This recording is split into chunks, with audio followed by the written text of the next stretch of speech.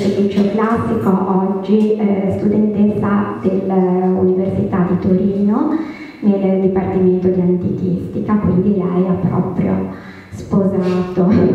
l'amore per il greco. E poi abbiamo Marta Montanaro che è eh, filosofa e attrice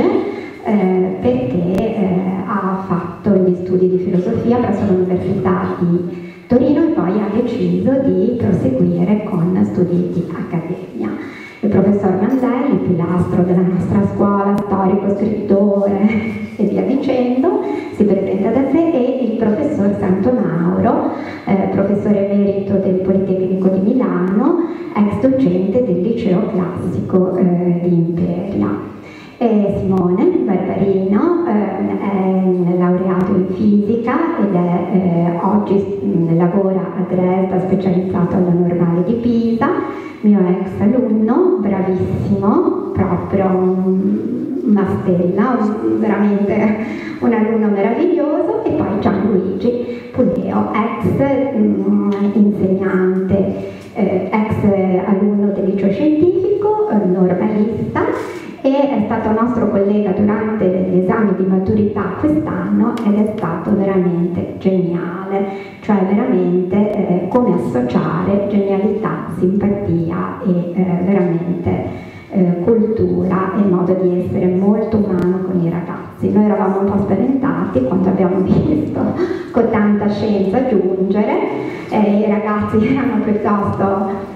emozionati e invece il professore è stato veramente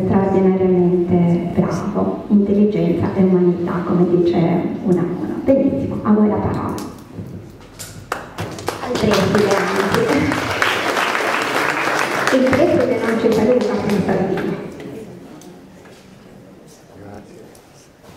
Pensavo di fargli dopo due saluti, comunque colgo l'occasione sì, per eh, ringraziare moltissimo anch'io i nostri ospiti per la loro disponibilità,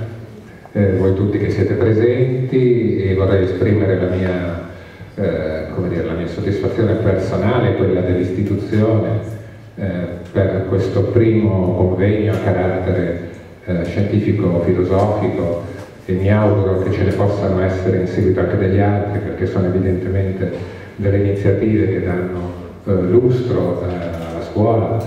e le permettono anche eh, di crescere, di maturare, di, di, di arricchirsi culturalmente, ma anche di aprirsi al territorio e di dimostrare una vivacità culturale che è opportuno che una scuola abbia, ma che non tutte, tutte le scuole eh, hanno in maniera così scontata. Eh, la tematica di oggi è di indubbio interesse perché eh, la figura di Majorana eh, nella storia della scienza e della, e della, cultura del paese. I ragazzi di Via Panisperna sono eh,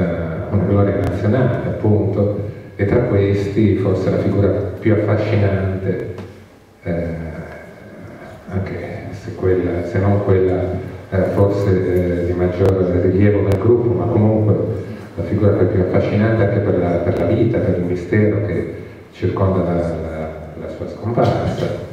eh, ma anche per le sue qualità intellettuali che tutti gli riconoscevano, è proprio quella di, di Majorana. Quindi eh, credo che oggi a, a, indagare su questo grande mistero della, della, della cultura italiana. A voi la parola, grazie.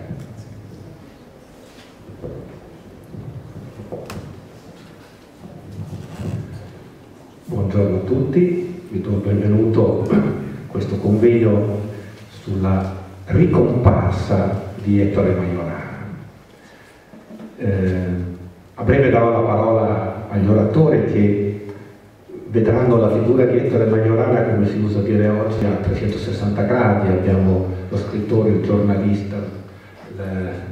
declamatore di versi, abbiamo il fisico, il chimico, che quindi potranno vedere ogni aspetto di questa figura molto misteriosa, molto strana, un aggettivo che è stato usato molto anche nel descrivere il carattere di questo personaggio. Eh, permettetemi soltanto di dare due date per inquadrare il periodo storico in cui è vissuto Saranno poi gli oratori a declinare i vari periodi con maggiori dettagli. Nasce nel 1936 a Catania, poi si laurea con Fermi all'età di 22 anni in fisica teorica, viene poi nominato per chiara fama direttamente dal ministro professore ordinario di fisica all'Università di Napoli e proprio da Napoli inizia diciamo, quello che oggi andremo a vedere. Prende un traghetto per Palermo e poi non se ne sa più nulla. Erano poco più di 80 anni fa, siamo nel 1938, nel mese di marzo, avviene questo fatto che poi diciamo, darà origine a tutta una serie di congetture. Eh, sulla scomparsa di Majorana sono stati scritti tantissimi libri, eh, ne verrà ricordato in dettaglio oggi uno, quello di Leonardo Sciascia, appunto intitolato La scomparsa di Majorana. Sono stati fatti anche dei film dei documentari, eh, ne cito uno, si chiama Nessuno mi troverà, è un docufilm del 2016 eh, di un regista che si chiama Eronico,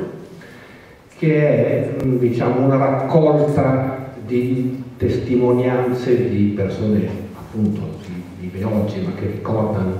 eh, il nipote di Majorana, ci sono dei fisici e che danno un certo così, aspetto, una certa visione di quella che è stata questa scomparsa.